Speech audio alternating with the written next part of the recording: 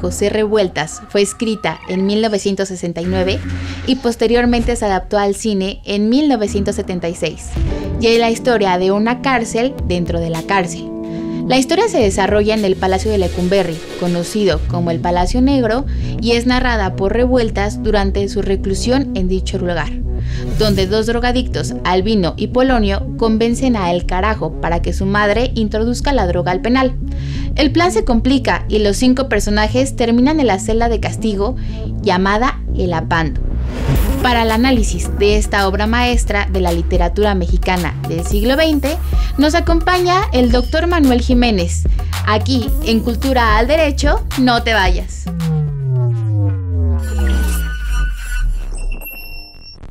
Bienvenidas, bienvenidos a una emisión más de Cultura al Derecho.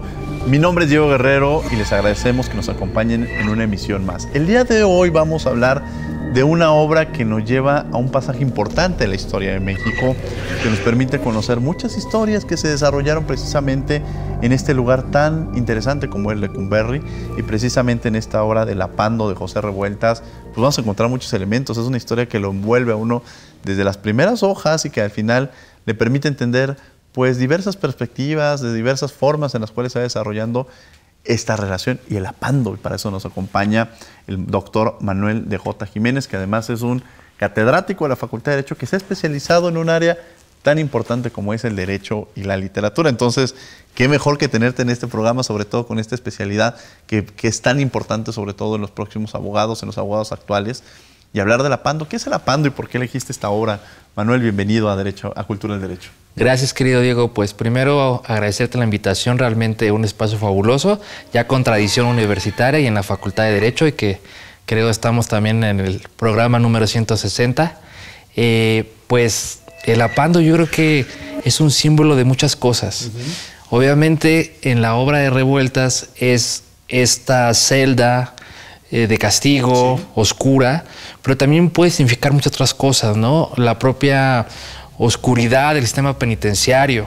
Incluso algunos autores que lo vinculan con eh, justamente en juego con el personaje, eh, el protagonista, eh, el carajo, como un nicho, como una parte, digamos, de em, el, vientre materno, o sea, tiene varios simbolismos es, digamos, creo que una de las líneas del juego metafórico de revueltas en este librito, esta novela corta, que también desde el punto de vista formal tiene sus, sus riesgos y tiene sus peculiaridades.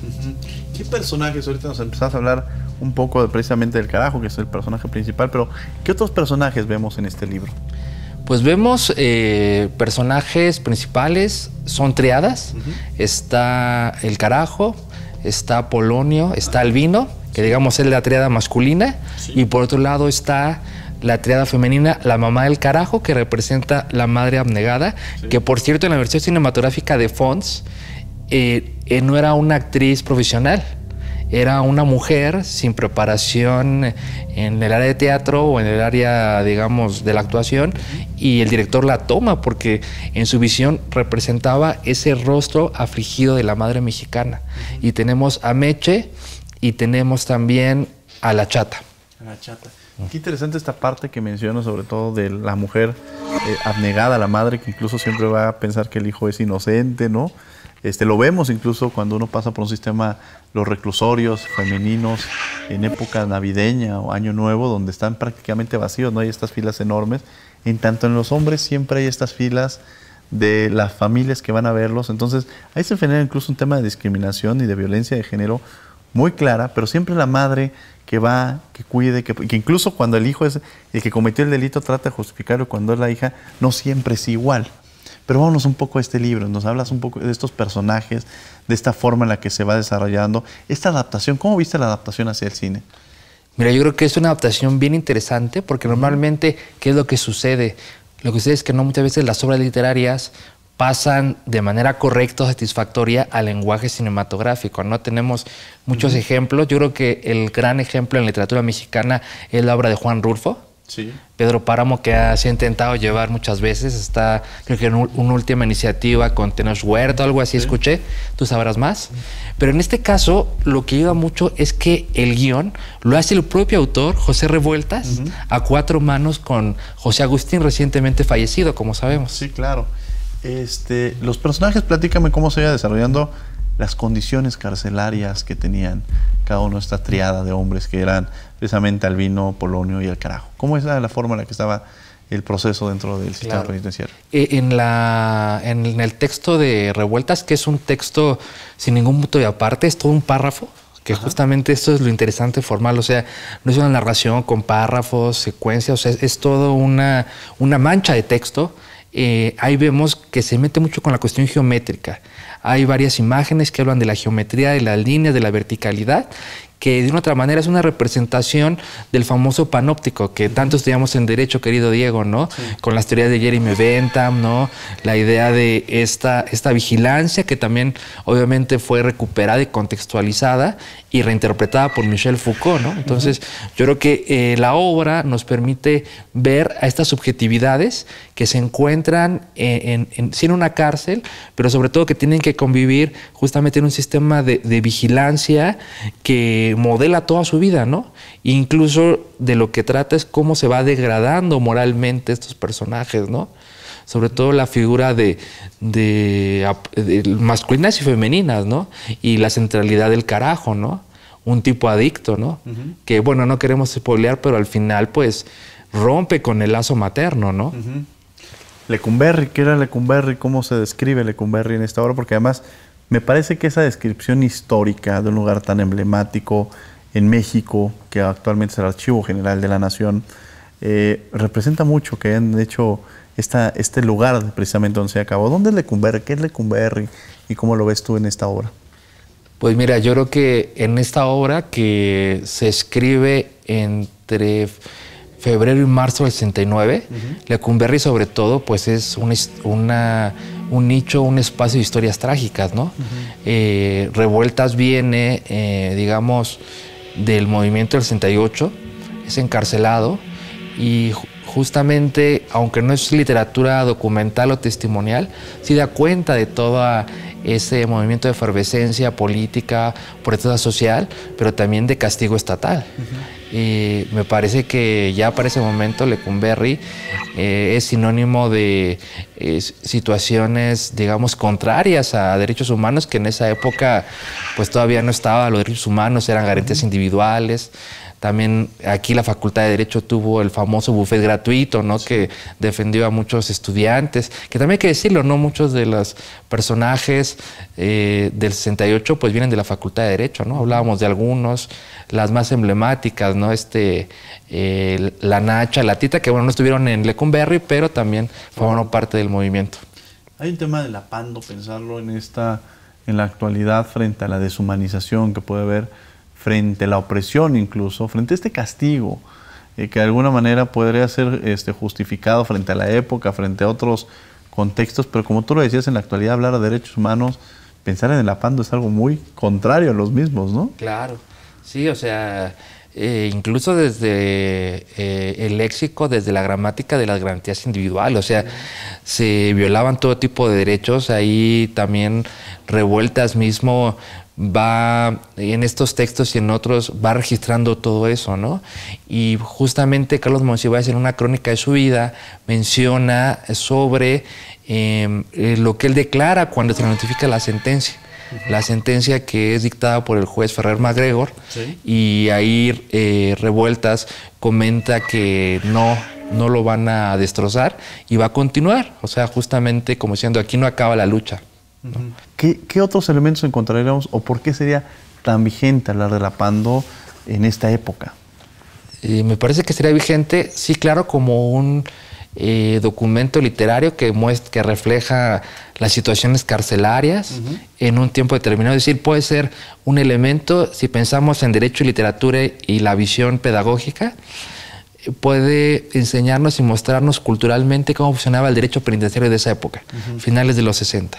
Y yo creo que al día de hoy nos sirve para también en un proceso de justicia transicional, ver cómo esos derechos humanos, esas garantías individuales sociales fueron violadas y cómo aún hay mucha gente que no ha sido reparada, ¿no? Esta famosa reparación integral que se maneja en el discurso de derechos humanos. Entonces yo creo que desde el punto de vista de la literatura, aunque claro, no es testimonio, no es una cuestión documental, sí nos puede ayudar a sensibilizarnos y a visibilizar todo aquello. Qué interesante que menciones esto porque muchas veces cuando se habla de, de alguien que cometió un delito, bueno, cumple una pena, cumple una sanción y a veces hay un escándalo social que de pronto dicen tendría que tener esta pena, debería incluso la pena de muerte, algunos que, que van llevando, cuando la, la, figura de los derechos humanos tiene que estar presente y que nos lleva entonces a entender que hay un Estado democrático de derechos humanos que tendríamos que atender, que tendríamos que procurar y que tendríamos que creer en él. A ver, desafortunadamente frente a corrupción, impunidad, pues se va perdiendo esta credibilidad, pero es importante hablar de la importancia que tienen los sistemas penitenciarios, pero sin llegar a este extremo, incluso en el que podríamos ver pues un tema de, de, afectar a las personas, incluso de torturas, que son contrarias completamente, ¿no? Claro, porque si uno se pone a pensar incluso en la figura de la Pando, como el centro donde estaban ahí los, los reos, que bueno, reo ya no se suele usar, los reclusos o las personas privadas de libertad, sí. pues es contra derechos humanos, ¿no? O sea, es una mazmorra casi. Sí. Entonces eso nos, y eso era plenamente legal, ¿no? Y se usaba, ¿no? O sea, nadie decía, no, oye, el apandado tiene derechos humanos, se tiene garantías. Entonces yo creo que nos sirve también para ver cómo el derecho sí cambia, ¿no? Claro. Y en efecto, a partir de la reforma de junio de 2011, pues, claro, en papel, pero poco a poco en la práctica esto va cambiando, ¿no? Digo, no soy experto en derecho penitenciario, sí. pero yo creo que sí hay algunos cambios significativos. Y qué, y qué bueno que mencionas esto, porque es muy importante entender los derechos humanos de esta expresión y no deshumanizar a aquel que está cometiendo un delito, que tiene que cumplir, pues, efectivamente esta pena.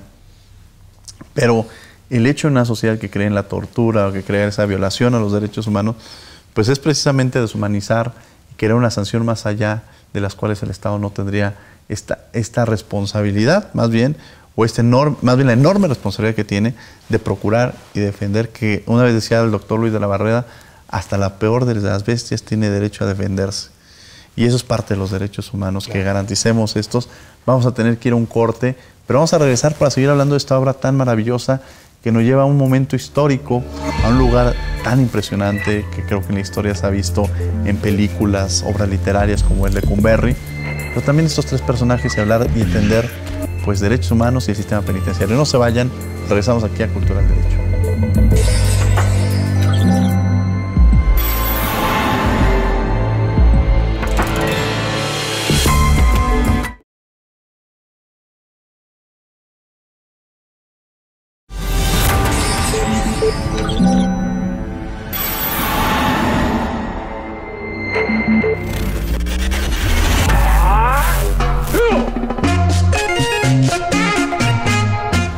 El Palacio Negro de Lecumberri se construyó durante el gobierno de Porfirio Díaz y funcionó como penitenciaría desde 1900 hasta 1976.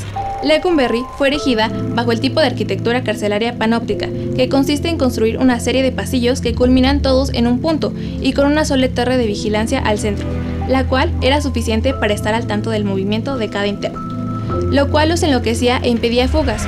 Dentro de los muchos personajes famosos en la historia tanto política como artística del país que llegaron a estar en el palacio, destaca el narcotraficante cubano Alberto Sicilia Falcón, quien mandó hacer un túnel que desembocara a la cercana avenida Héroes de Nacosari, consiguiendo fugarse en 1976, acto que dejó al gobierno en ridículo, y así Luis Echeverría ordenó el cierre del penal convirtiéndose en el Archivo General de la Nación. ¿Conoces alguna historia sobre este lugar? Cuéntanos en nuestras redes sociales.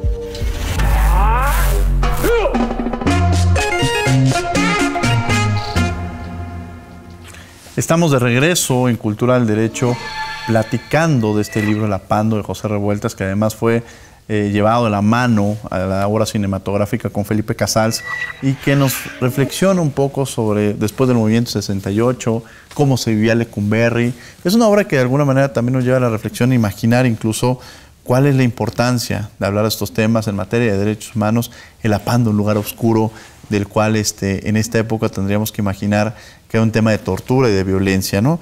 Eh, ¿Ha cambiado las condiciones de la vida carcelaria o imaginando en esta, en esta perspectiva? Desde luego hay que ser muy especialista y tener los datos. Sin embargo, creo que hay características que nos llevarían a reflexionar en cómo se vivía el sistema penitenciario en 1950 y en la actualidad, del 2024, frente a una serie de condiciones, ¿no, Manuel?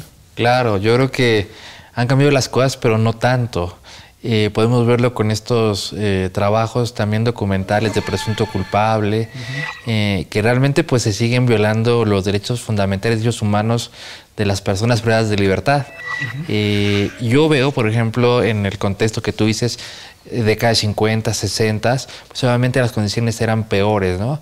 yo recuerdo ahora a un estudiante preso en Lecumberri en esa época, Pedro Castillo Salgado, que tiene un libro fabuloso, un testimonio sobre lo que sucedió en prisión, y él habla de que había tres eh, tipos de reclusos. Estaban los cacarizos que tenían dinero, poder adquisitivo, tenían celdas limpias, ordenadas.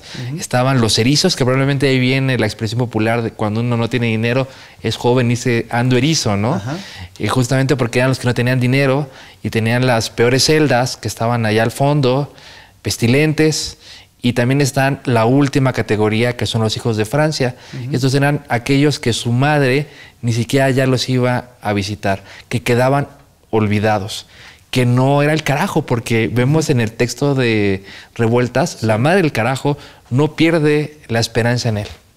Al final esta parte, o esta figura, la madre mexicana que cree este, que su hijo es inocente y no, no deja de perder en esta lógica, eh, esta hora también en las desigualdades sociales que no se han perdido, me parece que es algo de las cosas que tenemos que visibilizar permanentemente. ¿no? Alguien puede cometer un delito, pero el entender que muchas veces no, muchos de los que se encuentran en la cárcel es porque incluso no tuvieron los recursos para pagar un abogado o incluso este, y hay gente que por todo lo contrario, por tener los recursos pudo pagar un abogado e incluso entró este mecanismo de corrupción que le permitieron salir libres, ¿no? Y eso es quizás de las cosas que se reflejan y que uno parecería que esta hora de 1950 está fuera, pero que sigue sucediendo, siguen estas desigualdades y sigue este factor de corrupción. Derecho y literatura, literatura y derecho.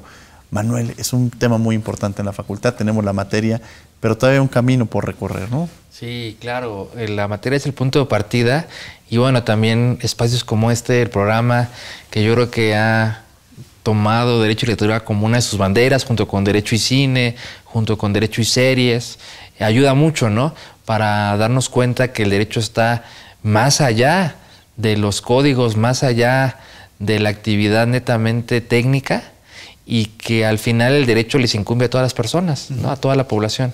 Entonces yo creo que la Facultad de Derecho ha sido pionera en, en México, en el país y también en América Latina, hay que decirlo. Yo el, a finales del año pasado, en noviembre, se dio un congreso internacional en la ciudad de Lima y ahí pude ver el estado de la cuestión en América Latina y no todas las universidades tienen una materia de derecho y literatura, hay que decirlo. ¿eh? Entonces hay que eh, fortalecerla con cursos extracurriculares, con publicaciones y también con trabajos en radio, como tú también lo haces. Entonces yo creo que hay mucho por hacer, pero vamos por buen camino. Vamos por buen camino y me parece que, tendríamos que seguir construyendo eso. El cine está muy vinculado con las artes, con la pintura, con la música, con la literatura. Quizá en el corte incluso nosotros platicábamos sobre los murales en la Suprema Corte de Justicia de la Nación, ¿no, Manuel? Claro, que también son murales fabulosos, ¿no? También decíamos, ¿no? Cómo eh, uno va a la Suprema Corte de Justicia y bueno, sabemos que están las ponencias de los ministros, todo el mundo quiere asomarse ahí a las ponencias, pero también tiene una parte que uno piensa que está en un museo, ¿no? En un museo de arte, ¿no? Con, con los muralistas clásicos, pero también con muralistas más contemporáneos, ¿no? Como el maestro Cauduro, ¿no? como otros artistas, como el profesor Ismael, ¿no? que también han hecho trabajos importantes y que retratan eh, una crítica social fuerte para decirnos, jueces, altos magistrados, ministros, no olviden que eh, deciden sobre la vida de las personas. Sí, esta enorme responsabilidad que al ver los murales es esta reflexión. Yo creo que el ministro al bajar las escaleras es la responsabilidad de cuando no se ejerce justicia puede estar un expediente, juntándose los expedientes, pero ahí está partido el expediente frente a una persona que se encuentra porque no se le ha dictado una sentencia, por ejemplo. Y, y, esto habla de las injusticias, esto habla de creer en el Estado democrático de derechos humanos, pero creemos en el Estado Democrático de Derechos Humanos cuando vemos una certeza, una legalidad, cuando no vemos corrupción, cuando no vemos impunidad, y creo que es uno de los grandes retos. Y la literatura, de alguna manera, bajo estos pasajes como este, La Pando, pues nos lleva a reflexionar a los abogados de la enorme responsabilidad que se tiene, de las condiciones que se tiene, que puede llegar a tener alguien en la cárcel, este, y que al ser privilegiados de formar parte de una universidad pública como la Universidad Nacional Autónoma de México, también existe una responsabilidad social. Y esa responsabilidad, quizá alguien puede leer el Código Civil, el artículo, pero la literatura sigue y tiene que estar presente en la vida de las y los abogados, ¿no, Manuel? Claro, yo creo que la literatura busca poner el dedo en la llaga para nosotros darnos cuenta que no podemos encerrarnos en la parte técnica, es decir, sí tenemos que eh, resolver conforme a derecho, atender aspectos de justicia, justicia formal, pero también hay que saber reconocer y generar una cuestión de desdoblamiento, una cuestión de empatía respecto de los otros, ¿no? Tú bien dices, o sea, imaginemos una persona privada de su libertad en algún cerezo, en alguna penitenciaría y que tiene añísimos sin saber su situación, no ha, no ha sido dictada alguna sentencia y pues bueno, está de una u otra manera, no en el limbo jurídico, pero sí en la incertidumbre total. Entonces yo creo que son cuestiones que hay que corregir y que me parece el discurso de derechos humanos a partir de la reforma de junio de 2011 nos permite no solamente tener un gran parámetro, un gran paradigma, también nos permite eh, tener una oportunidad para eso materializarlo. ¿no? En la época de revueltas, había un modelo que tú bien sabes bien, era un modelo kelseniano eh, de garantías individuales que a lo mejor no se podía estirar mucho en favor de la gente, ¿no? Y lo que ahora conocemos como el principio pro persona. Pero en la medida de lo posible nos sirve como un testimonio eh, literario, claro, ficcional, pero válido eh, para entender cómo era en esa época. Y hablábamos también de la justicia transicional de la justicia transicional, que además eh, la reparación del daño en un momento determinado. Elementos muy importantes. ¿Qué es esto, la justicia transicional? Pues la justicia transicional es un elemento fabuloso que se trabaja a nivel internacional, a nivel de derechos humanos y que busca que una sociedad pueda reencontrarse consigo misma, poder superar ciertos conflictos sociales, ciertos conflictos de violaciones temáticas de derechos humanos y de una otra manera volver a armandar esas partes que estaban disociadas en la sociedad, esos grupos, esos sectores de la población que a veces cuesta mucho trabajo, ¿no? Hay muchos procesos en Europa, ¿no? En, América Latina, a mí me gustan más los de América Latina, soy latinoamericanista y ahí podemos ver el proceso de Chile, de Argentina, ¿no? Entonces, creo que en México también este tema, ya lo hemos visto desde presidencia, pues es importante, ¿no? Sí. La reinserción social que además es tan importante y que de pronto salen de la cárcel y no hay este, oportunidades este, laborales, eh, les piden una, carta de no antecedentes penales, en su familia no son adaptados como ellos esperarían, e incluso vuelven muchas veces a delinquir o se vuelven a la escuela, incluso las cárceles de, para, para cometer delitos que los replican cuando salen o y que en ese sentido también ya no les preocupa regresar, incluso ahí ocupaban en un sentido de identidad algún lugar. Algo con lo que quieras cerrar, Manuel.